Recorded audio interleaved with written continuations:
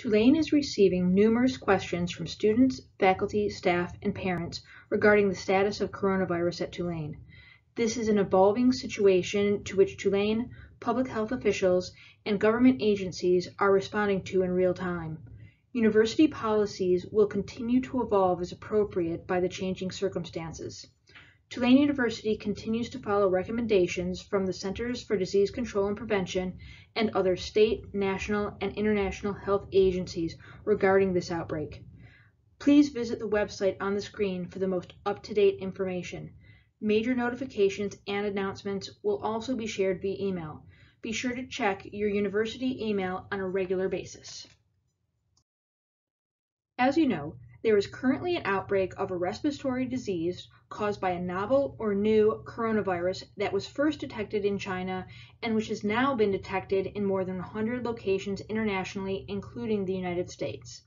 This disease is called the coronavirus disease 2019 or abbreviated as COVID-19. Tulane Campus Health has begun testing individuals based on screening guidelines. Individuals who are tested will be kept in isolation to prevent the spread of the disease. Health authorities throughout the world are focused on this illness, and Tulane's highly trained medical staff is closely following developments while working with other university officials to make well informed decisions for the protection of the Tulane community. Reported illnesses have ranged from mild symptoms to severe illness and death for confirmed COVID-19 cases. The following symptoms may appear 2 to 14 days after exposure. Fever, cough, shortness of breath. The virus is thought to be spread mainly from person to person between people who are in close contact with, with one another, usually within six feet. It is spread through respiratory droplets produced when an infected person coughs or sneezes. These droplets can land in the mouth or noses of other people who are nearby and or possibly be inhaled into the lungs. It may be possible that a person can get COVID-19 by touching a surface or object that has the virus on it and then touching their own mouth, nose, or eyes but this is not thought to be the main way the virus spreads. Early information shows that some people are at higher risk for getting very sick from this illness. These include older adults and people who have serious chronic medical conditions like heart disease, diabetes, and lung disease. There is currently no vaccine to prevent COVID-19. People infected with COVID-19 are treated with supportive care to help relieve their symptoms. Individuals cannot decide for themselves to get tested. Only healthcare providers can request a test for the virus that causes COVID-19, and those requests are made in alignment with the Louisiana Department of Health and the CDC guidelines. Approvals are based on symptoms and on risk factors such as your travel history or exposure to individuals known to have the disease. If you are experiencing fever or other respiratory symptoms, please do not go to your healthcare provider before calling first. If you have the symptoms for COVID-19 or think you have been exposed, please follow the directions on the screen before you go to any healthcare provider, including the Student Health Center, please call ahead and tell them about your exposure or potential exposure to COVID-19 and your symptoms.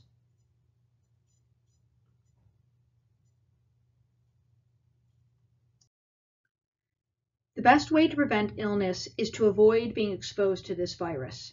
The virus is spread mainly from person to person between people who are within close contact of one another.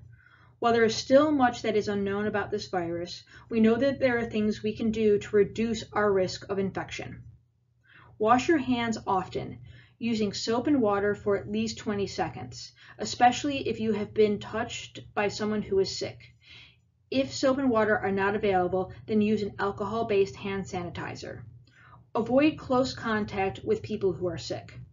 Avoid touching your eyes, nose, or mouth with unwashed hands. Make sure to cover your cough or sneezes by using the crook of your arm or disposable tissues. If you use disposable tissues, throw them away after use and then wash your hands with soap and water. Avoid sharing drinks with others. Maintain a balanced diet, exercise, stay hydrated, and get plenty of rest. Clean and disinfect surfaces you touch regularly. Remember, if you think you are sick, call your healthcare provider for assistance. The CDC does not recommend that people who are well wear a face mask to protect themselves from respiratory diseases, including COVID 19. You should only wear a mask if a healthcare professional recommends it. A face mask should be worn by people who have COVID 19 and are showing symptoms. This is to protect others from the risk of being infected.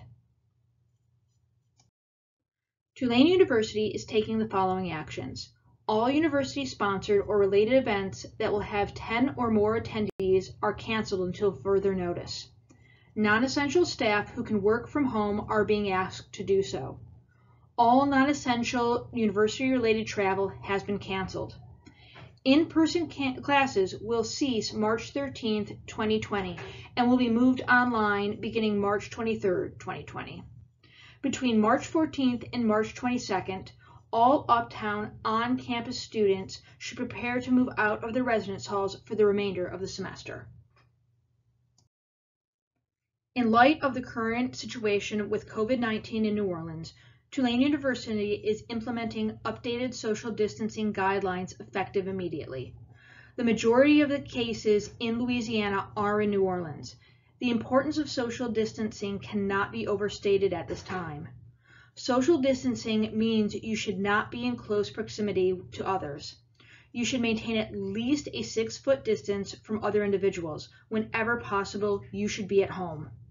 The governor has even announced that all bars, movie theaters, and casinos will be closed, and restaurants are limited to takeout, delivery, and drive through only.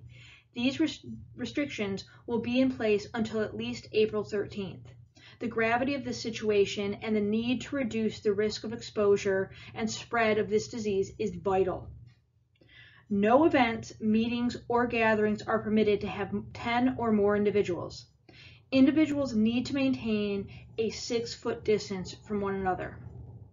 This is applicable to all members of the Tulane community, whether students, staff, faculty, or administrators, and whether full-time, part-time, temporary, or contracted services.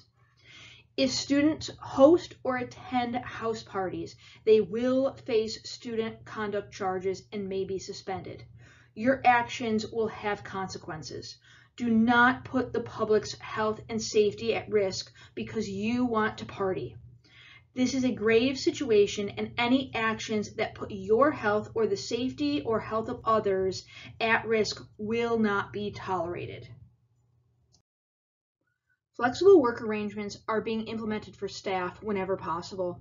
The Commons is currently only open to Tulane faculty, staff, and students. At 5 p.m., all Tulane University libraries will be closed to all but critical staff.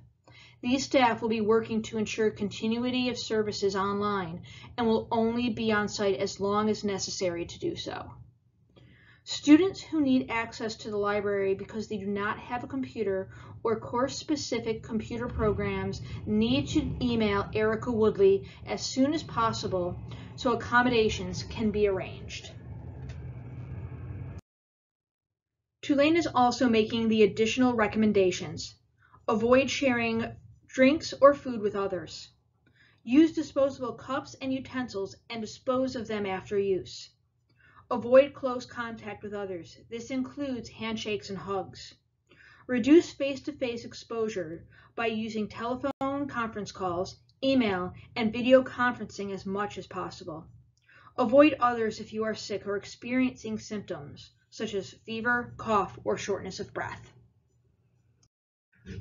To get the most up-to-date information, please check your Tulane email regularly. You can also check the university's COVID-19 website for the latest answers to FAQs, communications, and travel advisories. This website has the most up-to-date information on COVID-19, Tulane's response, the adjusted academic calendar and instruction, as well as specific information for employees, students and parents, scholars, and admitted and prospective students. Thank you all, and please stay safe during this time.